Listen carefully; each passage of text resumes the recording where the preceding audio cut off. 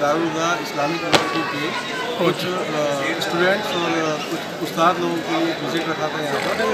अजमेर शरीफ के अंदर हम दारुगा की ब्रांच लेकर आ रहे हैं, जो कि गेगल में स्थित होगी। उसके लिए हमने ज़मीन देखा है और ये ज़मीन की विज़िट के लिए आए हैं। तो दारुगा के कुछ चालीस लोग प्रतिनिधिमंडल आया था। उनको हम लोगों ने राजस्थान के प्रतिनिधिमंडल जिसमें अख्तर हुसैन बशीर साहब और हम सब लोगों ने, उन सबकी अगवानी की है और उनको आज पूरा दरगाह जियारत कराई है और अभी इन ज़मीन की भी